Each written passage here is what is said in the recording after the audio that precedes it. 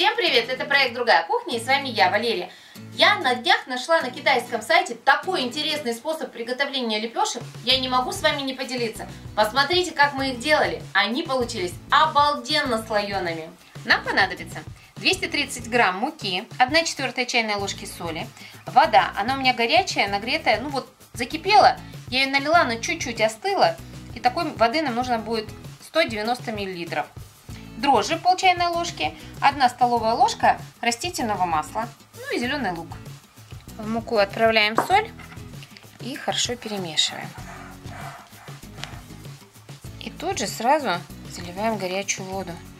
Тоже быстро все перемешиваем. Так, подложим полотенчика, чтобы не ловило. Сюда же отправляем буквально при, прямо сухие дрожжи растительное масло. Перемешиваем. И уже можно тут руками помогать себе. Замешиваем тесто. Ну, теперь уже вымешиваем. Тесто такое приятное. Такое чуть-чуть горячее. Хорошо-хорошо перемешиваем. Вымешиваем.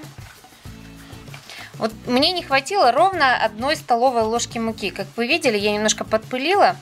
И теперь прям месяца оно тесто ну идеально. Оно такое сейчас тепленькое, мягкое. Три минутки вымесили. Оставляем в чашке. Накрываем пленкой и убираем примерно на минут 40-60 для расстойки. Лук мелко режем. Тесто вылежалось. Оно не поднимается, вот прям, чтобы вот так подняться. Но оно становится очень мягким таким воздушным чуть-чуть. Теперь раскатываем его. Слегка сбрызгиваем маслом. Ну, у меня как-то не очень слегка получилось. Я так щедро. Вы так не делайте. Чуть-чуть масла нужно поменьше. Хорошо промазали. Теперь присаливаем.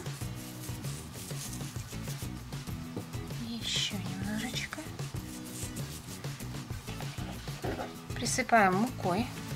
Так, еще немного. И посыпаем зеленым луком.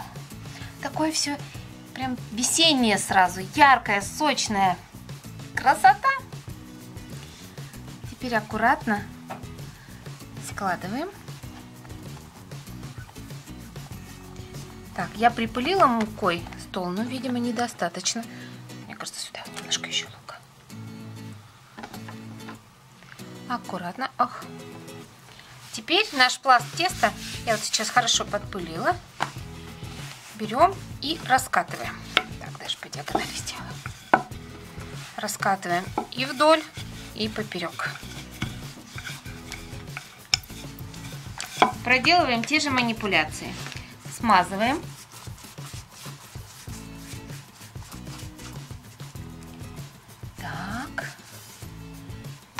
слегка присаливаем, совсем слегка, чтобы наш лучок был вкусный. Посыпаем луком зеленым. И мукой.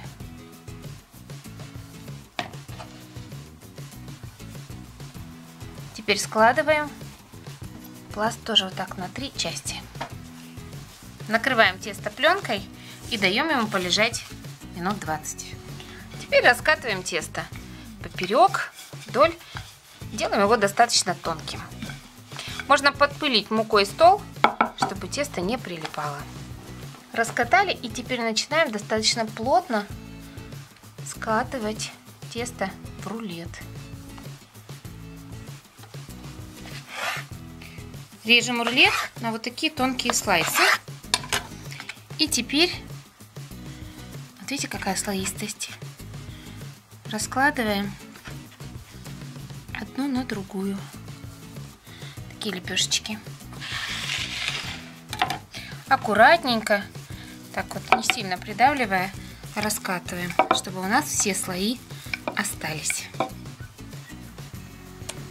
Жарим наши лепешечки в небольшом количестве масла. Но если у вас нет антипригарного покрытия, то масла можно чуть больше добавить. Жарим лепешечки на среднем огне, даже ближе к низкому, с обеих сторон. Друзья, посмотрите, какие они классные. Вот такие лепешечки, абсолютно слоистые. Вау! Смотрите, со всех сторон. Это что-то потрясающее. Они вкусные, мягкие и очень-очень ароматные. Зеленый лучок придает прям весеннее настроение. Будем готовить вместе, друзья. Присоединяйтесь к нам. Обязательно ставьте лайки и подписывайтесь на наш канал. У нас впереди много интересного. Пока!